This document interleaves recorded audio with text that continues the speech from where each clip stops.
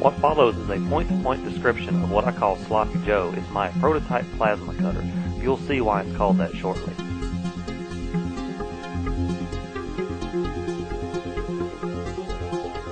The diode bridges that you will be using will be smaller epoxy packs rated at 50 amps or more, and I suggest using two of these. The diodes shown here are connected in a full wave manner.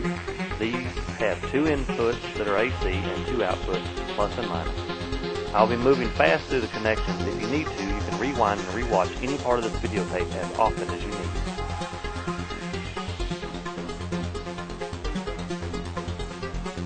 Most of the tools are basic. One item that you may not have will be an acetylene to braze the air fittings. You can have someone do it for you, or you might look out and find the correct fittings at a welding supply.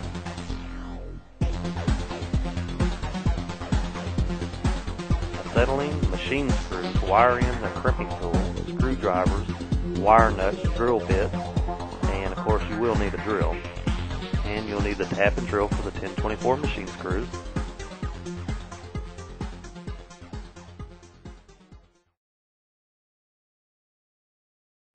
Here is the 240 volt input line power that goes to the AC input on your diodes.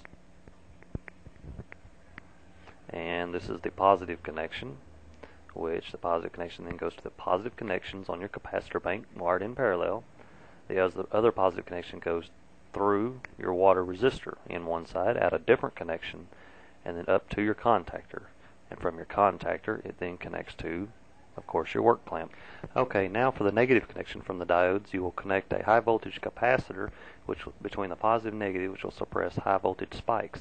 Your negative line then goes out and comes down and connects to your negative side of your capacitor bank.